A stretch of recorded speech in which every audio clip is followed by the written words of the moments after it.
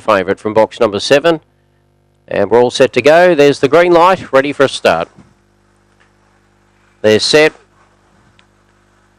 Racing, Mapunga Remy came out okay, showing good pace was Miss Firebird. Miss Firebird going up there. Mapunga Remy's the leader from Miss Firebird.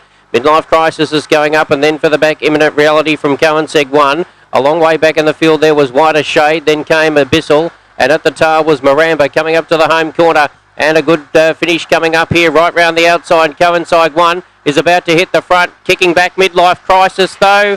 Midlife Crisis just from Cohenseg 1, and then came Imminent Reality. Uh, close up there was Miss Firebird, then came Imminent Reality from Mapunga Remy, Whiter Shade and Abyssal and Maramba, and it's 25 and 89.